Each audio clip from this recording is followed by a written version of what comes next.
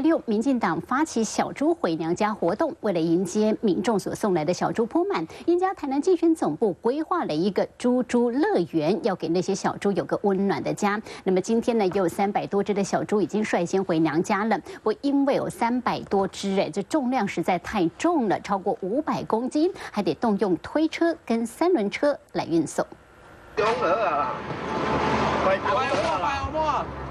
作人员把小猪铺满，台上推车，这全是支持民众送来的。每只猪喂得很饱很重，代表着民众的心意。那我们这里统计出来三百零七只，那金额上呢，我们没办法精算，应该是有超过六十万，好，超过六十万，三百空七只，啊，头到有人跟咱算过，讲这超过半栋，哈。总重五百多公斤的小猪，当然得动用推车、三轮车，从台南市议员王定宇服务处这里提前送回英家台南市总部。其实总部也规划了这个绿草如茵、有庭园造景的猪猪乐园，迎接小猪到来。好，来带有金树叶处，啊个坚固的房子，啊个青青的草地，啊个五那球啊啦哈，好让那小猪回娘家有一个安稳的家，来